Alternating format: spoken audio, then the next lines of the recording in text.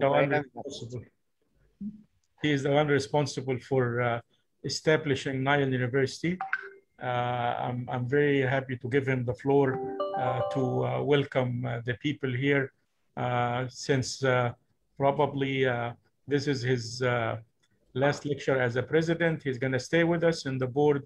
is going to stay with us as management of technology professor. but he is really, really the one who was behind uh, the scene, the, the unknown soldier in establishing uh, technological and entrepreneurial university in Egypt. Dr. Tarek, please, floor is yours. Thank you, Hassan, and uh, good evening, everybody, and uh, welcome, uh, Professor Chakraborty. we are delighted to have you with us. indeed, tonight we have a very important lecture uh, that is given by one of the real experts in this field. Uh, business analytics and data sciences are extremely important uh, subject for the business schools and for all schools actually, as far as I'm concerned. And uh, we are delighted that our business school is taking a lead in this area and uh, starting uh, its program, uh, MBA program with some emphasis on uh, data analytics and business analytics and so on. And we are very proud of our university. We are very proud of our School of Business. And Dr. Hassan has done an outstanding job in actually bringing the uh, latest in the areas of uh, business and economics and finance and related subjects. So I'm very excited about the future here for the school and for everybody that's connected with it. Uh, certainly at the University of Miami, we pride ourselves ourselves of being uh, on the forefront of technology and we have uh, started uh, many years ago uh, into big data analytics and Internet of Things and all the technologies that are very pertinent today. So uh, tonight's lecture is a good introduction into our new program uh, in the business school. And we are delighted to have such a great expert as uh, Professor Goutam uh, Chakraborty with us. And I welcome him and wish all the attendees a very wonderful lecture and a fruitful discussion. Uh, Dr. Hassan, please, it's all yours so we can go ahead and get started without any further delay. Great, thank you so much, uh, everybody. This is my privilege to introduce my good friend, uh, Goutam Chakraborty. I know uh, Goutam for over 25 years now. Uh, we go a long way, and uh, he has been always a distinguished uh, professor. Uh, he is the director of the Data Science and Data Analytics Center at Oklahoma State. He has been uh, given many, many awards. I think we have already put his bio on the announcement. he has been very instrumental with the SAS institute. So he is a SAS professor. Uh, and I can tell without any hesitation that if you want to know uh, data analytics uh, and if you are uh, not familiar with data mining, uh, this is the fellow that you should really ask for. Um, Professor Chakraborty is going to teach two courses for us in the MBA on, on, on data and business analytics and uh, we are very happy for him to start uh, whetting our uh, appetite by giving us uh, this lecture. Uh, Goutam, the floor is yours. Thank you. Can you hear me? Just yes, very well. Thank you very much. And I'm honored to be invited for doing this. And it is my pleasure for being here. Good evening to everyone. And uh, I'll try and make this interesting because sometimes lectures like this could be very, very boring. So um, I'll give you a little bit of my background. And before you start wondering, you know, Dr. Hassan has already given some background. Why am I giving you my background? There is a reason for it. The reason is, and this is a message that I take to every corner of the world.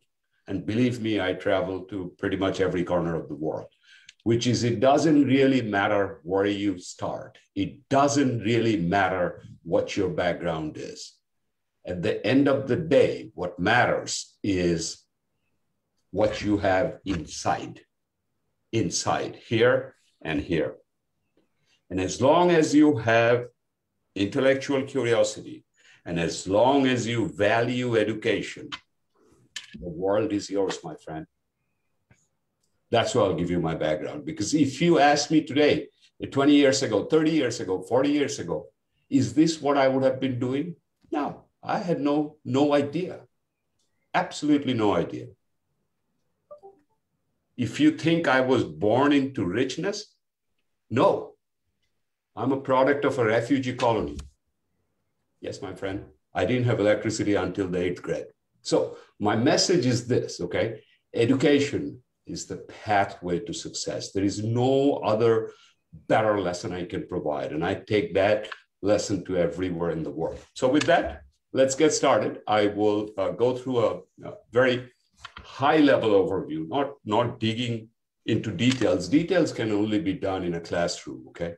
So my goal is to get you a sense of what is going on and in the world of analytics. And if you're new to the world of analytics, it'll set the stage for where we are, how we got there, what are some of the challenges involved, and what do we need to do as universities, as industry to get the most out of out of what we have today. So, and then I will end this with uh, with a case study or two, depending on on time, and uh, we'll, and one of the one case study I want to address is the one on financial industry. I understand many of you might have some interest in that area, so that's where we'll go ahead and get started. So again, you know, from a from a background point of view, I was an engineer before I became a marketer. If you look at my look at my degrees, I was uh, a mechanical engineer, worked for a couple of years. Then I went into uh, MBA program and did my uh, MBA and became a marketer.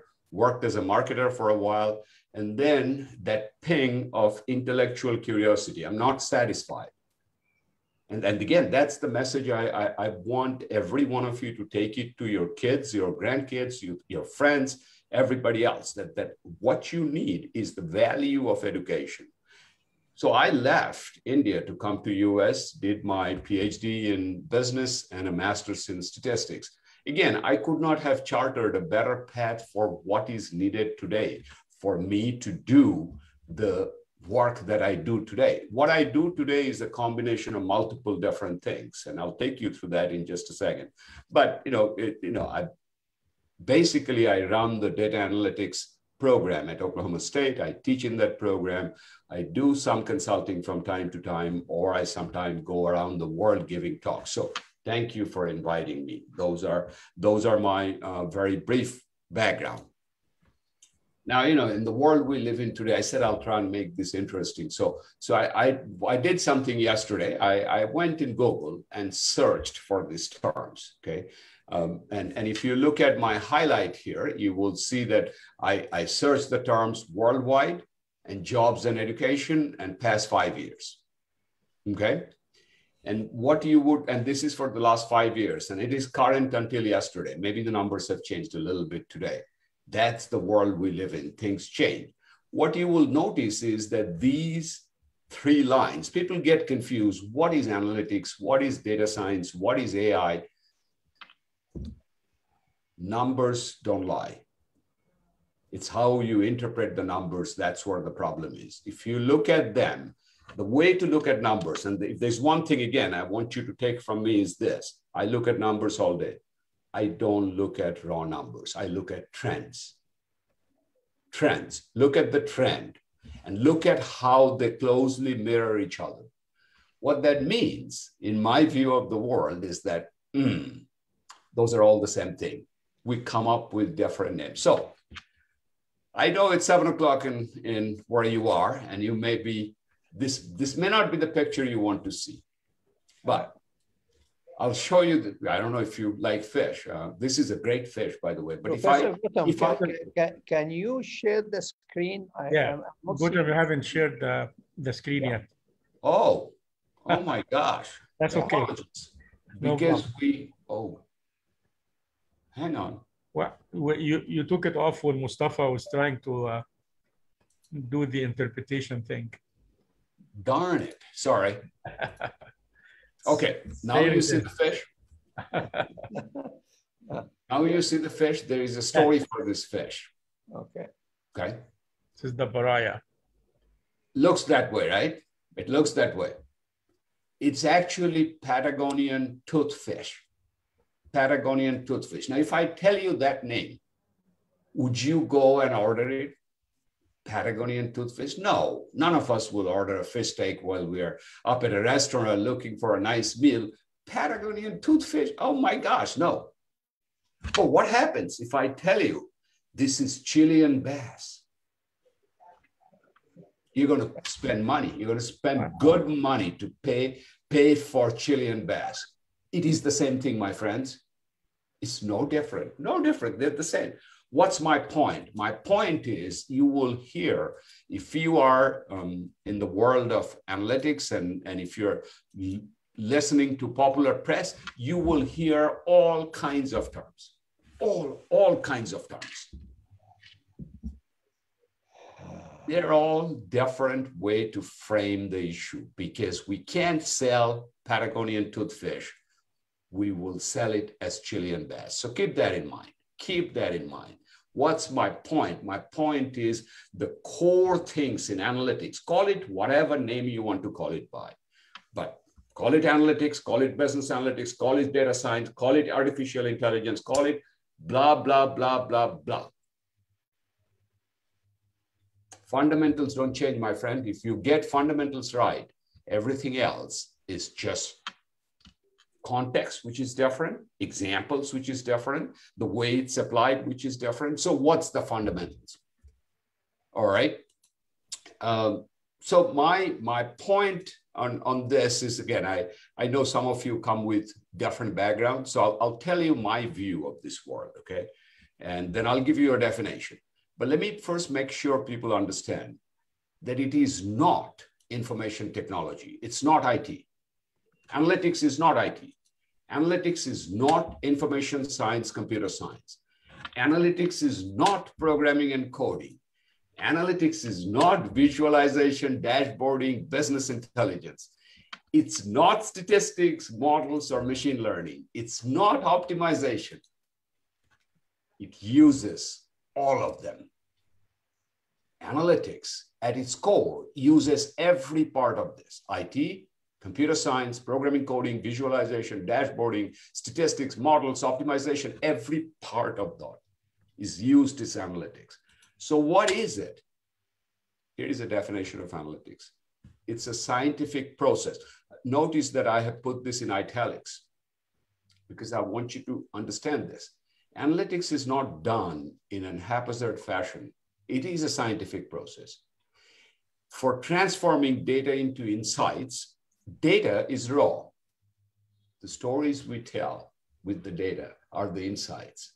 At the end of the day, if you don't learn to tell stories with data, people don't get it. People don't get it. And it's important to, to generate those insights. And then generating those insights makes no sense unless somebody uses it for making better business decisions. A very simple definition of analytics. I have taken students who came with many different backgrounds, some with engineering, some with IT, some with marketing, some with fine arts, some with no idea of coding. But if you have the intellectual curiosity, if you are willing to learn, and if you're willing to learn with help, you could be an analytics professional. That's, that's what I want to put the message to you. Now, let's talk about, you know, what, uh, and, and I like this, uh, this is a um, slide from a, from a professor, uh, Davenport, and he's very, very well known, okay? And, and it, it's a nice way to think about it. And, and I've given you the reference for this book. It's called Competing on Analytics. And I'm using this from this book. And Professor Davenport talks about we have in, a, in an industry, we have two sources of competitive advantage. Uh, well, two, two different things that we need to do. One is to gain competitive advantage. And the second, we need to create degree of intelligence from data. So most industries start with at the very bottom end of the scale, which is the raw data and the clean data. When you are in this part of the world, this part of the world as visualized by these two axes, you know you don't have much competitive advantage neither do you have much of uh, much of intelligence but it's needed. Without this nothing else can be done. Then companies move up this line by creating what we call standard reporting, answering questions such as what happened, ad hoc reporting, how many, how often were, query drill down using databases and alerts, what actions are needed. This is as we move up this arrowhead, what you will see is the, is the competitive advantage increases and the degree of intelligence also increases. Following this comes what is called more modeling, statistical analysis, forecasting, predicting, but you can't really do this until you have gone through this. So this bottom part is called descriptive analytics. Then when we go into this prediction, what will happen next? You know, why is this happening? These are the kind of questions that comes under what we call predictive analytics. And then at the very end of the scale is what we call prescriptive analytics. And what is prescriptive analytics is not just what's going to happen, but can I put things together in my business in such a way that I can get the best possible result? We're not predicting, we are changing. We are changing our internal mechanism, our external facing sites, our resource allocation so we can get the maximum value for the company. That's prescriptive analytics. So if you don't learn anything today, at least take this with you. Those are the three core analytics things that we talk about in any analytics program. Now, as I, I told, told you that I would uh, give you a sense of how analytics has evolved over time, and and at the same time, I will I will show you how we and in the universities are evolving over time to to uh, match this. So this is again another very favorite author of mine, Bill Schmarzo, um, a good friend of mine. Both Tom Davenport and Bill Schmarzo are very good friends. Uh, and, and he wrote a book called a Big Data MBA, and I've given you the reference here, and this is taken from his book. And what he talks about is at the beginning, at the beginning, where most organizations are, and this is where most US organizations were until about a few years ago. Okay. This is where this is where they were. What what they were doing was basically monitoring the health of the business business monitoring, monitoring the health of the business. They're generating insights and trying to do some optimization of processes within the business. That's where they were. And this is where the domain of descriptive and predictive analytics were.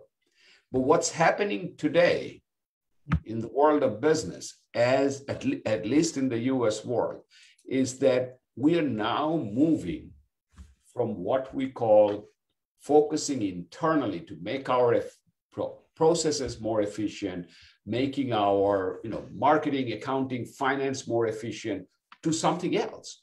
We are moving to what we call monetization, external customer monetization. Every business today is looking for a way to make more money, honey. It is true.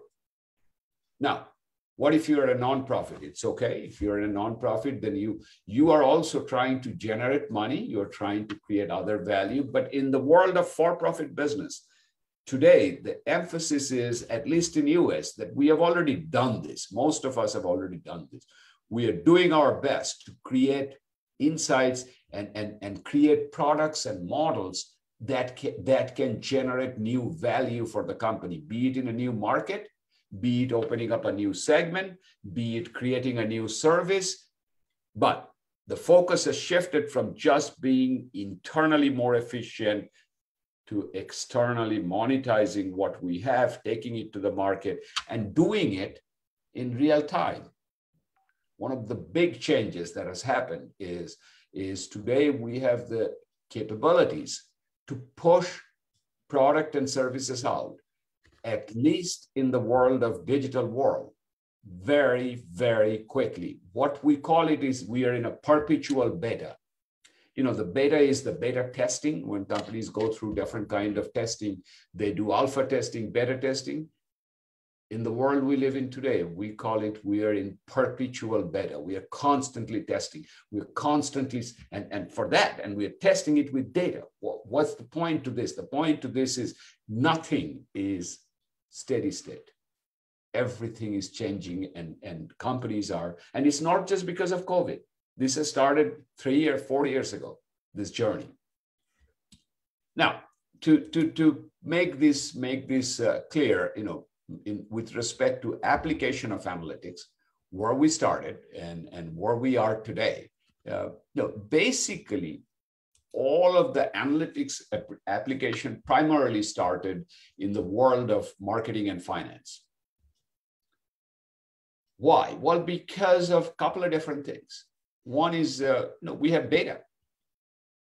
We have control over the data and we, we have data, we have access to the data, and we can use this data. So finance started this by a long time ago, looking at uh, risk prediction and risk management. And marketing have been using data in various forms, whether it's internal data, whether it's external data, all kinds of data for understanding and prediction of your customers' behavior. So most traditional application of analytics that you will see even today are in these two domains. This is where we started, but that's not where we stopped. It's a journey and the journey started with that. Okay. So for example, in the marketing, we like to predict who is who is going to buy our product in, in marketing or if you work in telecom industry, this term you have heard, churn. Who is going to churn? When we have contract with, with um, you know, telephone companies, cell phone, internet providers, uh, all of those, who is going to churn and who is going to renew? We're also very interested in predicting not what you will buy, but what you will buy next so we can promote it. We can promote it correctly. On the finance side, we are on primarily on risk prediction. We want to know what is the risk, and risk can only be predicted if I have a prediction model. So again, it goes back into, into analytics. Whether you are a bank or you are a financing company, you know, you are dealing with financial assets, there is an inherent risk associated with what you're doing. So the question is to quantify that risk using two things. One is the probability of things going wrong. And if things go wrong, how much would things go wrong? You bring those two together, you have the fundamental definition of risk, but understand both of them requires data, both of them require predictive model. That's, but that's what's, what was the core of the analytics, core of the analytics. Now, where are we now? Well, guess what? It doesn't really matter which or which organization or which function of the organization you work for. I've got news for you. And that news is you will need analytics. So human resources. Who would think human resources. You know, one of the big thing today in human resources is HR analytics. That's a name you will hear if you hear if you are if you are in human resources. See, human resources people figured out that oh my God, these marketing people are uh, you know they're doing all this predictive modeling. Why can't we take that model? And why can't we predict who is going to join our company of all these people that we are interviewing? Can we do some shortlisting? Or more importantly, can we predict you know, which person is likely to leave. So maybe we can take care of him. Or maybe, maybe can we can we even chart and predict what's the best type of training I can provide to this person so that person reaches his or her maximum potential? you see, my friend, it does. It, it's, it's just what you. It, you just have to think. You just have to think about how to apply this, and what kind. Of course, it cannot be done without data. But you have this data. This is internal to every company. If you maintain the records, you know this. So it's possible, right? Manufacturing, production, and operation. Now, to be honest, we have done this. Yes, uh, it's under the name of what we call SQC. For any industrial engineer out there or any process engineer out there, you know what I'm talking about. It's statistical quality control. We used to look at charts, the, the, the Three Sigma and Six Sigma charts, okay? But the charts were just for alerting something if the process is going out of whack. The way now we do it is saying, okay, yeah, all these predictive models have been built. Why can't I use those models to predict what's the lifespan of my machine? Just like in marketing, we predict what is the lifespan of a customer. Why can't I predict how long before a machine breakdown so I can optimize and, and do the maintenance a few days before it goes down instead of doing maintenance every day. You see, it's a model. But for that, we need data. Of course, there is data. So data is available. It's a question of can we get those data and can we build those models? So it's being used in, in manufacturing. Of course, it's being used in R&D, uh, IT, information technology. Because IT, at the end of the day, is a service provider. You want to know before something breaks down, before something happens, when is going to happen so you can deploy your resources correctly. IT at the end of the day is also allocation of resources properly. And, and you have to understand where things are, should be allocated to give the best service. R&D, very tough. R&D has always been tough because when we look at R&D, you know, we make investment that may not bear fruit for three, four, five years into, into the future. But if we have looked at past data, why can't we look at multiple R&D projects and score them, predict which one has the best chance of success by looking at the past data, and then use those models to look at my current portfolio of R&D that I'm, I'm looking at and score them and figure out, hmm, okay, maybe this has a better chance than this and this and so on. Same thing with service. Same thing with service. So my point to this is, yes, it may have started with marketing. Yes, it may have started with finance. But today, no part of the organization, doesn't matter which organization you are, which part of the organization you, you work on, every part of that organization would be touched by the power of analytics and data. Now, as things have changed, uh, one of the things I want you to, to understand, I'll tell you, you know, I've said this at the beginning, that, that you have to be open to changes. In the world of analytics, we have to be open to changes all the time, all the time. Just to show you, give you an example that I practice what I preach. When I first started this, teaching in analytics, it was not yesterday, not five years ago, not 10 years ago, if you if I go back on my time scale, this is in 2004. That's about 17 years ago. There was no word analytics in that popular press at that point in time. That's when we started. So 2004 started this as a data mining certificate program. And then what you will notice over time, we changed. We added new stuff, just like what businesses do. At the university level, we do the same thing, particularly if you're in this world of analytics. So we started with a data mining certificate, then we moved this to online. Then we added a marketing analytics certificate. Then we moved the marketing analytics certificate to online. Then we started a data science option and a business analytics degree program, and then a graduate certificate in healthcare analytics. And ultimately, today we have a degree multiple one master's degree, multiple graduate certificate, and these are some of the KPIs of our program. My point to this, again, for you, for every potential student of analytics out there, is that life, just because you learn something, your learning doesn't stop once you get the degree. You have to continuously innovate yourself, reinvent yourself, and, and, and learn. That's the message that I want to want to take forward. But that's it. That's it.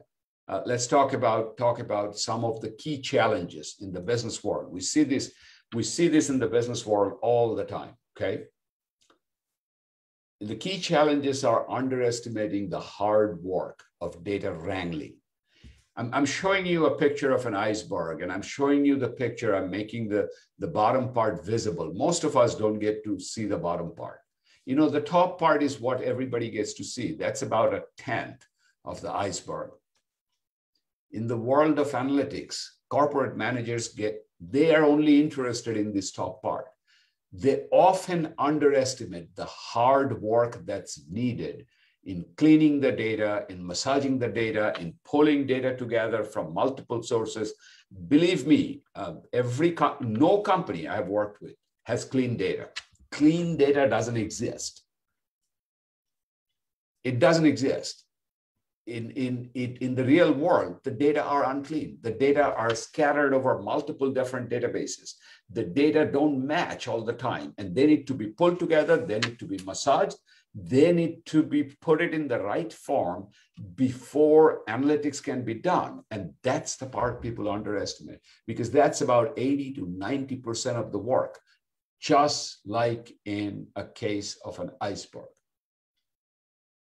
That's one major, major challenge. Okay. We're getting better. We're getting better. You know where we are better? When you work in the world of companies that have come on board maybe in last five years and or 10 years even, but primarily in the digital space. Why? Because they started with a clean slate. Most companies I work for, most companies you will work for, have got some legacy systems, and those legacy systems have to have to work with the new systems, and that's where some of the problem comes in in pulling data.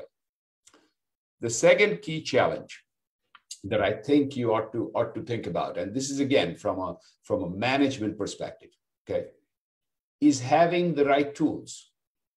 So I'm, I'm showing you for those of you who don't may not may not know this. This is a very traditional toolbox, which is so nicely organized. You see how nicely organized this is? You know, everything is in its place, everything fits together. They work so beautifully. So got news for you. You come to the world of analytics, you're go not going to have a single toolbox. You will have multiple tools, multiple toolboxes that don't always mix and match together. And you'll have to figure this out. You'll have to figure this out. So what, you know, what, what, what do we want? I mean, we want something that works at the enterprise level. We work something that can do all of these things but it's tough to find a single product to do all this. And even if you find, and there are, there are single products that does all of this, but even if you find it, chances are your employees will say, you know what? Okay, that's great, but I don't really like that software. I want to use this. And someone else will say, ah, I don't want to like that. I want to use this. You want to empower your employees. You want them to be the best they can be.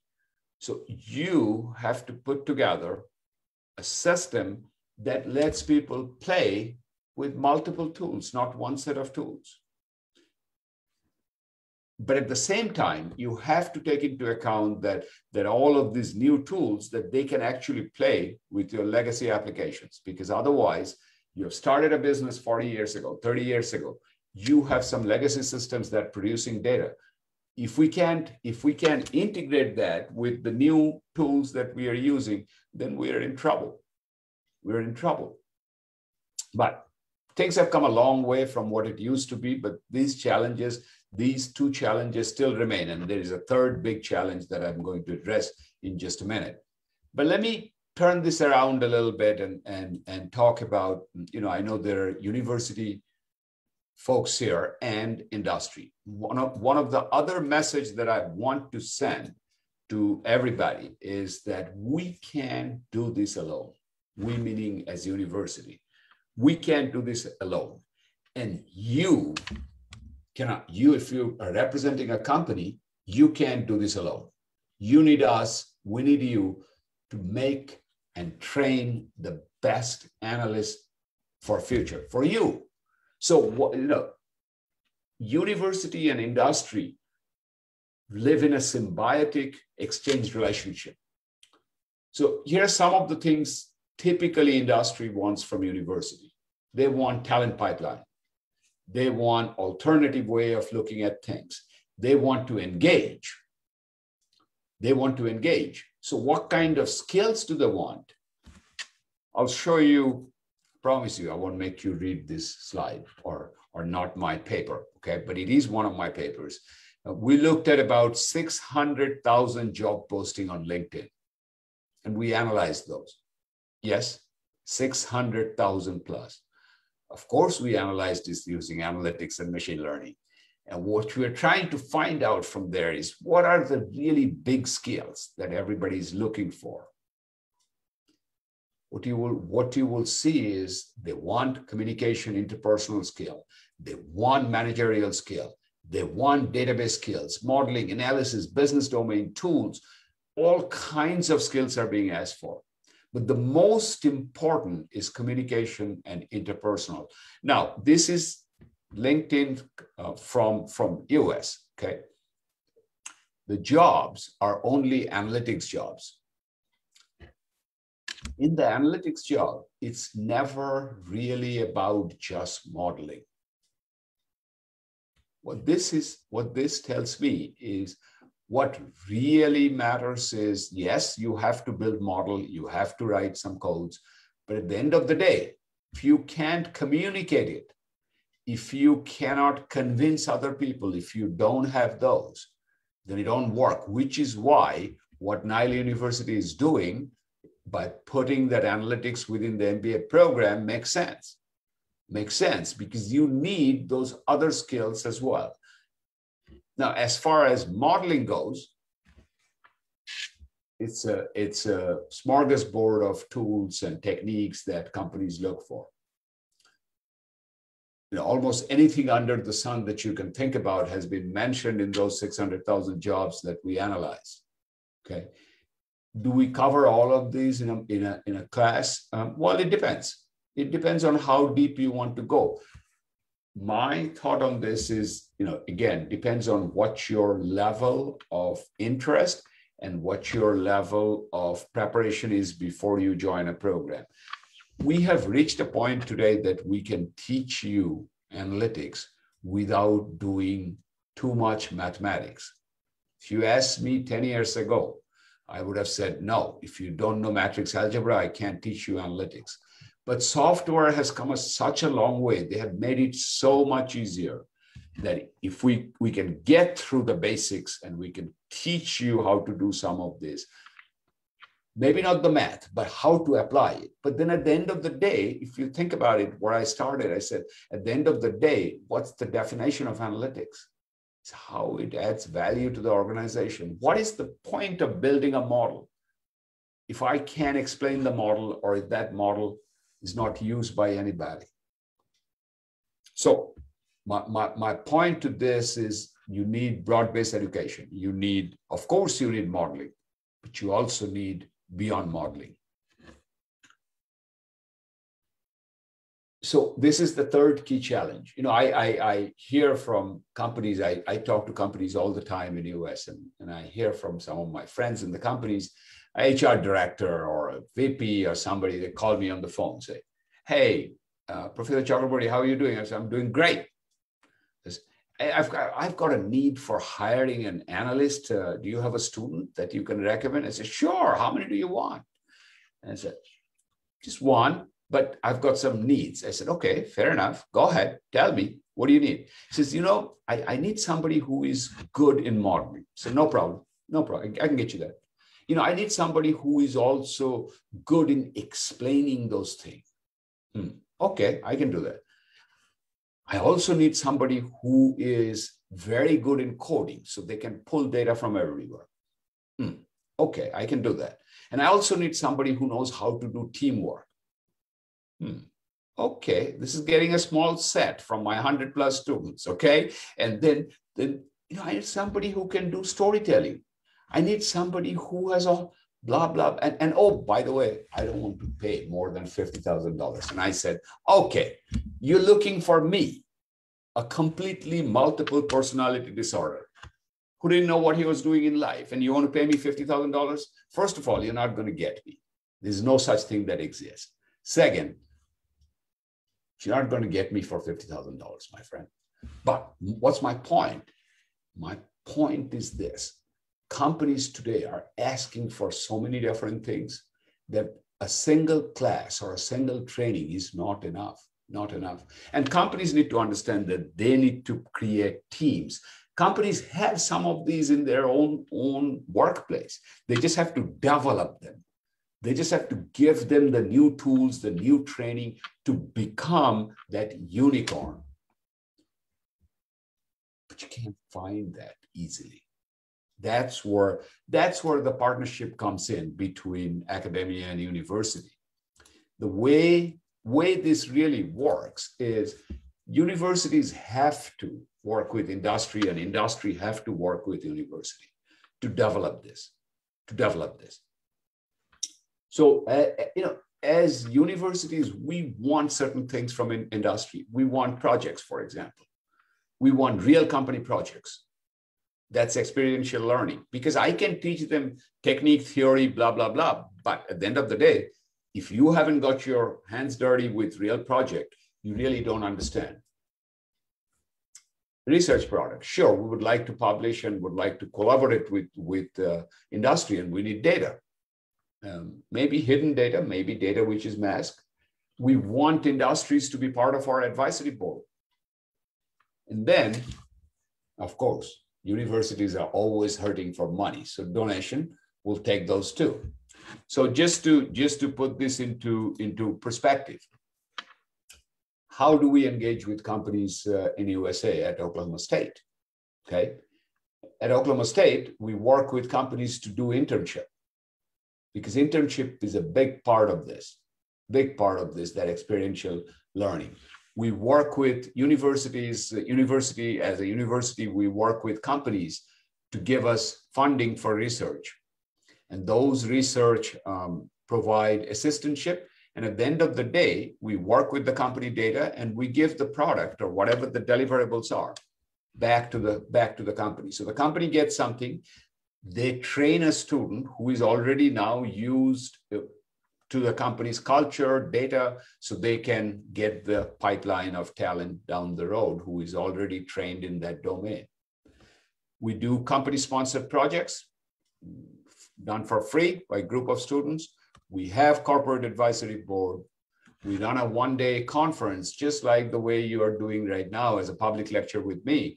We would run a one day conference, a full day conference on analytics every year We'll invite companies, we'll invite our advisory board, and we'll put our students there, and we bring them together to spend a day with us um, to, to come and listen to speakers from industry. And then, of course, of course, we would do placements. So before I go to my, my next slide, I want to do a quick check uh, Dr. Hassan or Dr. Mustafa, would you tell me how we're doing on time? How are things going? Do we have time for uh, taking through at least one case study? And yes, please. Yes, uh, Goutam, you 10 more minutes or 15 is fine. Okay, I'll, I'll finish it in 10. So I want to leave some time for Q&A so that way. Excellent. Uh, okay, so um, wonderful. So I'm going to I'm going to give you a case study and, and I'll take you through this case study. One of them, I'll take the financial industry case study. But before I jump into that, I need to uh, tell you something that you probably know, but haven't thought through it that much. Okay. I want you to understand the difference between what we call structured and unstructured data. Structured and unstructured data and then I'll after that, I will take you through the case study and then I'll summarize with some lessons learned that I have learned over the years doing projects and, and then we'll open it up for Q&A. So uh, structured versus unstructured data. Most of us, you know, particularly people like me who don't have any hair on their head, who were born and brought up long, long time ago, fairly old. Yeah, no, it's not that old, but it's okay. But you know, we have grown up in this world of what we call numeric data, which is structured. They come in a spreadsheet. Most of us understand given a spreadsheet today most of us know you know how to do mean average standard deviation maybe even some graphing and some modeling okay most we have grown up in that world that is the structured data world but then suddenly something happened and what happened is unstructured data came onto us. So here's an example of an unstructured data. Look at this data. How, this is data. How the heck do I analyze it? I don't know. I don't know how to go from here. I know how to what to do here. What do I do with this? Don't know. Or for that matter, what do I do with this? All the telephone calls and the IVR, the interactive voice response data that are being generated. Hmm. That's voice. And then welcome to the world of YouTube. Now we have video data. People are posting Insta. People don't even write anymore. They don't even talk. They post on Instagram. So we have to analyze images to figure out what they're thinking about. So you see, my friend, what's going on in that world is we started in this world, started in this world, and the world has changed on us. So one challenge that it, provo- it creates for us is on the data side. How do we, how do we, because I have some structured data, how do I take this unstructured data, however I do it, I got to combine them together to build a model. That's a big, big, big challenge. So the case study that i will present to you right now is a financial industry case study that I was involved in. And again, I can't give you the name of the company or anything like that, but uh, but give you an essence of what that case study was, where we did exactly what I'm just pointing out. So this company, uh, it's a financial industry uh, case study, a few billion dollar um, company at that point. Now it's a much bigger company, but when I worked with them, there were like I can't remember, three or four billion dollar in US at that point. Today it's more than $10 billion company. But this company's business line, so again, um, you have to understand the context. This company specializes in debt collection from delinquent customer. Debt collection from delinquent customer. What does that mean? That means there are people who taken a loan from a bank for maybe buying a car, or maybe they have taken a loan for whatever, some reason they can't pay back, or they have charged up too much on their credit card and they can't pay back. And they declare that, that we can't pay and we're delinquent or not paying.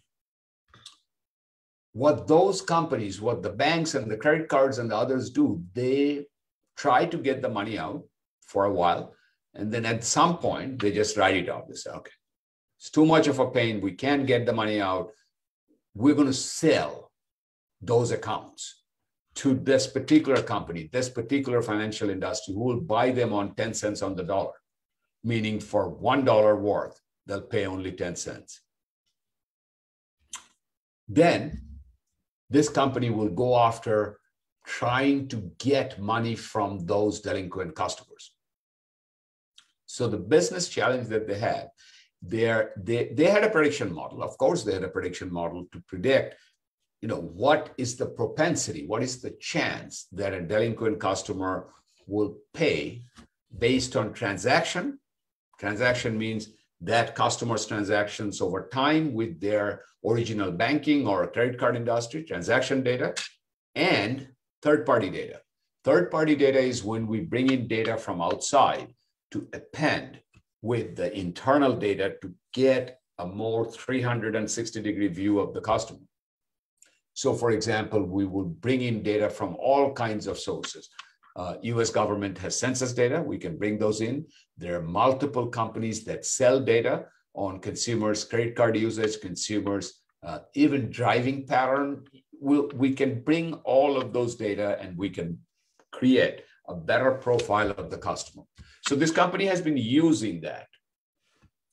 The question they asked us when we started, got involved with this is, can this prediction model be improved by analyzing texts from agent customer interaction. Because at the end of the day, the agent is calling the customer every day saying, hey, you have to pay, otherwise we are coming after you, we're going to sue you, blah, blah, blah, blah, blah, all kinds of things, right? So the customer is saying something back. So these are all being captured by law when, uh, and by US law, when a company calls for debt collection, they have to have the whole thing recorded. So therefore, we have the recording. So the first pain is converting that recording into text. So we use software to convert recording into text. And that's today that has become much better. When I was working on this, the accuracy was about 65, 70% in the best of the breed at that time. Today, that accuracy comes to 85, 90% in converting from, from uh, what we hear on the phone to text. And the question was, you know, if we can bring in this data, could we improve the model? Because if you improve the model, they get more money. At the end of the day, that's what the financial company is looking for. So the, the current system, current system is simply, you know, they're buying delinquent customers. It's going into their collection system. The agents are calling the customers. The company is also sending them letters, and and then hopefully, you know, uh, they're they're paying. Not all of them pays, and and the scoring engine is the model that that they have. That was the that was based on based on their their data that they have and the third party data. Here is the new model. What's the difference? The difference is now we are capturing we are capturing the voice data and we are converting into text. And then we're going to analyze those and pull that back to see if the scoring can be improved. If the scoring improves, then company's bottom line improves. If the bottom line improves, then they're happy. So I'm showing you a very simplified version of, of a model. We tried a lot of different models. This is just a simplified version of a model using a product called SAS Enterprise Miner. Uh, again, that's because that's what uh, we used at that point in time.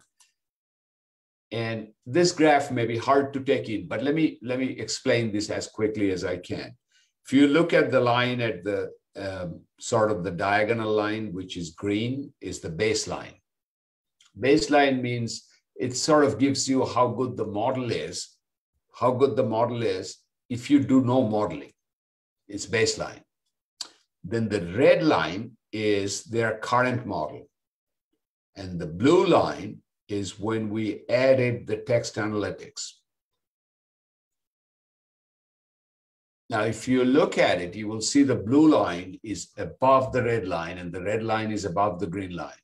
That means the blue line is better, better than the red line. What's my point? My point is by pulling in that new source of data, the speech analytics, we improve the company's scoring model, which in turn improves their bottom line, and they're happy.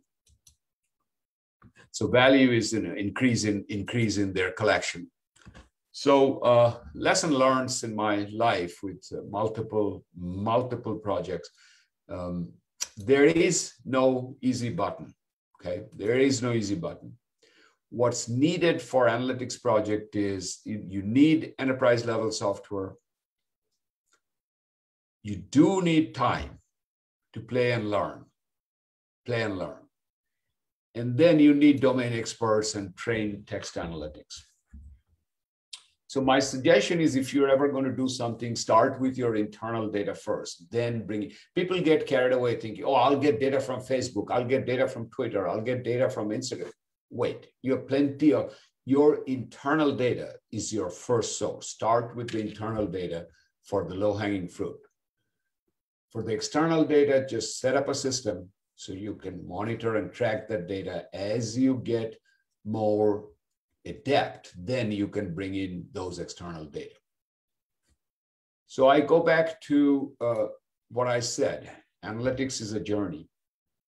I urge you to start that journey, regardless of which company you work for, regardless of your uh, silo in the company that you're working for, regardless of your background. Take the step. Take the step on starting that journey. In the long run, I think all of us have to use analytics. And for I hope you start this with Nile University's MBA program, as uh, was mentioned. And you know what? Perhaps I will see some of you when I'm when I'm down there. I'm, I'm looking forward to. I've never been to Egypt. I'm looking forward to my visit, and uh, I thank Dr. Hassan and everybody else for inviting me. So I'll open this up for Q&A. So I'm happy to take uh, Q&A. Um, Dr. Thank Hassan. You very much. Thank you. Thank you very much, Goutam. Uh, it's been very enlightening and uh, entertaining at the same time. Uh, I do have already uh, some uh, question being posted on the chat line. So let me take it one by one here. there's a question from Noha Bulkhair and she said, if uh, I have the same data each period, how do I do uh, untraditional analysis? How to ensure that the provided analysis uh, is to the management expectation? Uh, how to ensure that I covered everything can be analyzed? I think it's a little bit. Uh, uh, it's like it's like asking about how do I catch big fish uh, from the sea. Uh, but uh, I'll take the other two questions and then we'll have Goutam answer three people at a time. I think Dr. Muhammad is saying that data scientists spend 70% of their time uh, for wrangling data. If any noise or inconsistency in the data, the model accuracy is not acceptable traditional statistical model is better or machine uh, learning model uh, for it depends on data itself. Uh, question number three, can we say uh, BA is a DSS or an expert system? Uh, this is Ibrahim Sultan, our finance professor.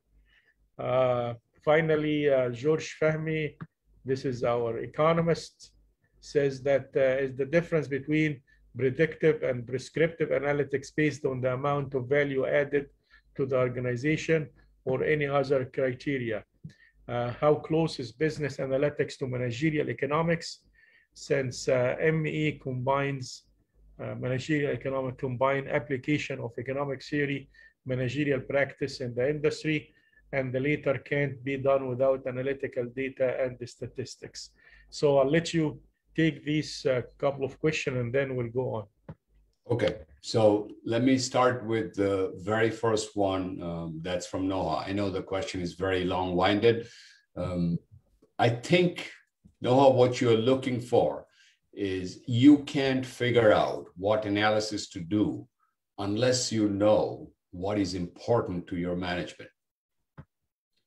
At the end of the day, if they one of the hardest challenge that you will ever have is getting things out of decision makers what they really want because without that whatever you produce may not work out may not work out so th- there is no easy solution to the problem that you said if you have you know how do i how do i make sure that they're happy well the way you make sure they're happy is first figuring out what makes them happy what is it? So one of the things that we do is when we sit down for doing project with companies, we ask the question that, okay, okay, if everything goes right, at the end of the day, what is what is the product look like?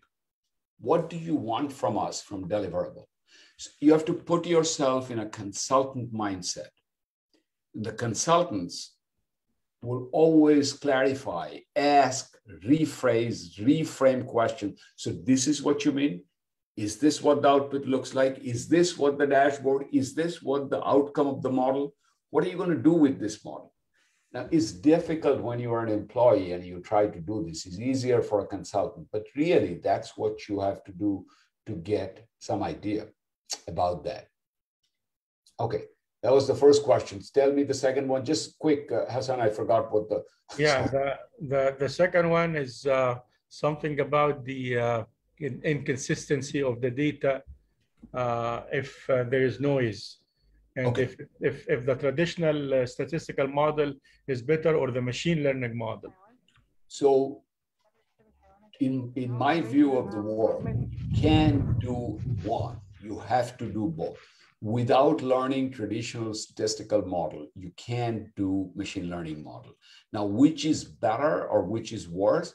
That depends on the degree of noise. That depends on what is the, you know, what is what is it that you are looking for? So, for example, if you are asking more from an explanation that we have to explain the model, I cannot explain what comes out of a deep neural net.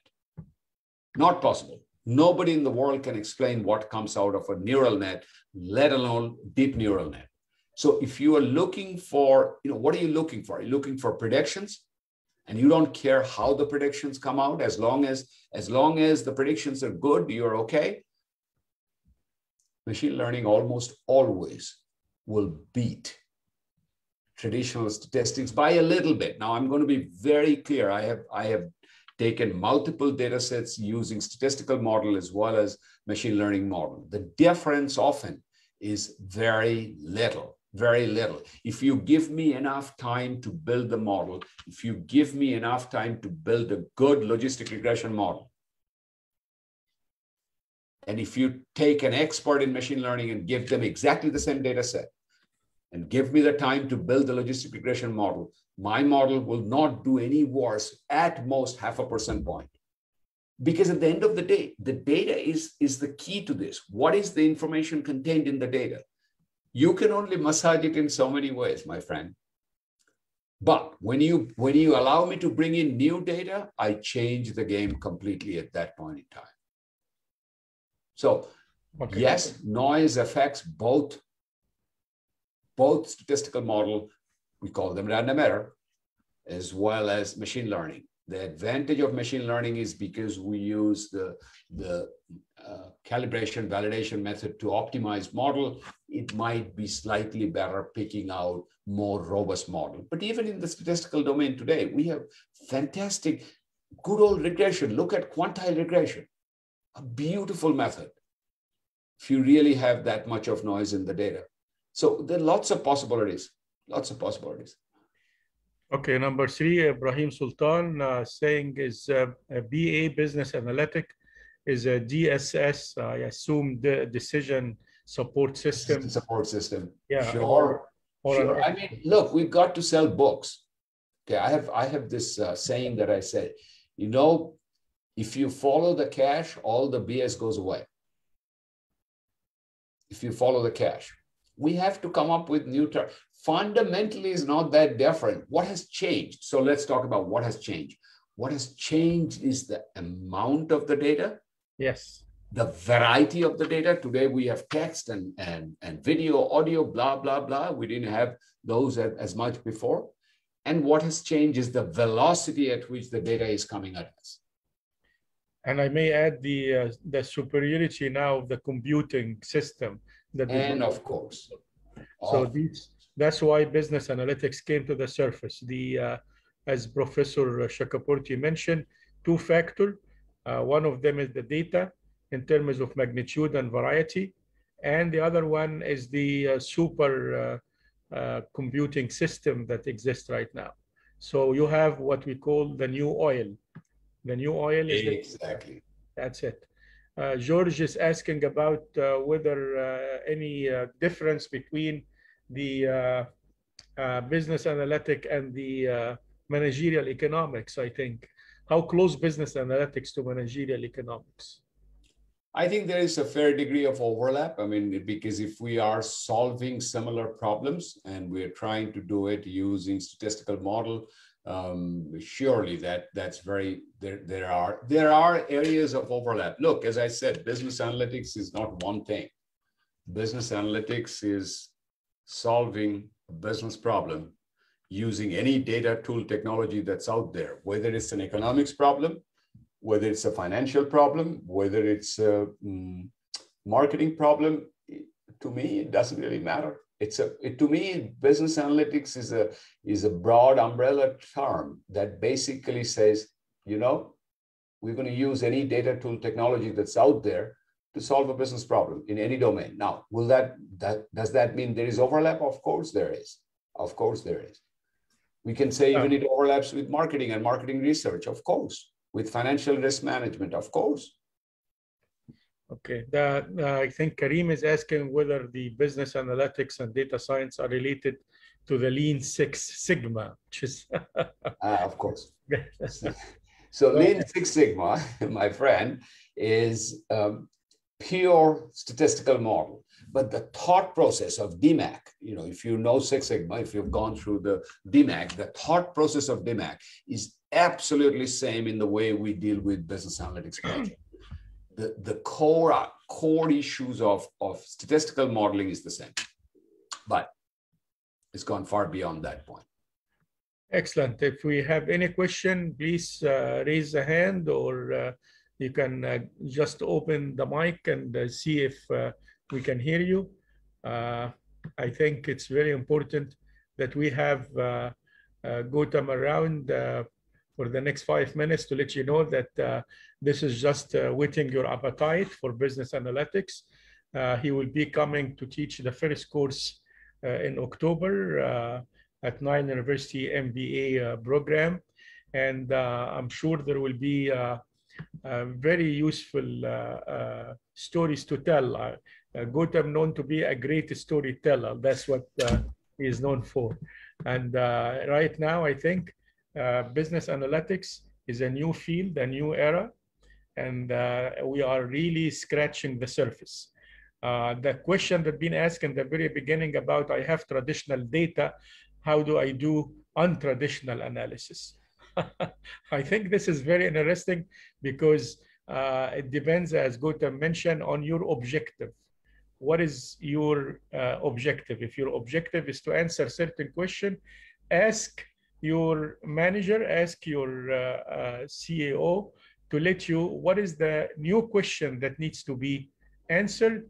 And now, because of the huge data that we have and the many variety of ways to analyze it, we can answer uh, new questions and we can give uh, much more detailed and accurate uh, uh, prediction than before. I think this is what really distinguish the, the, the, the business analytics, that we are able now to give more accurate prediction of a lot of factors, things that we have never expected that we are able to predict.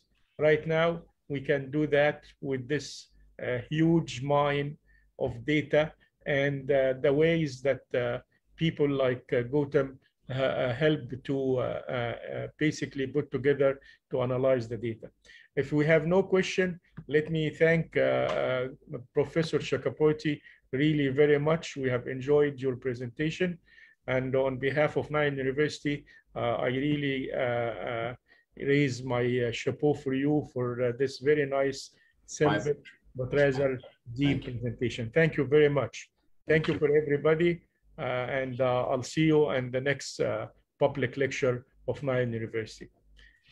Thank you. Bye. Bye bye.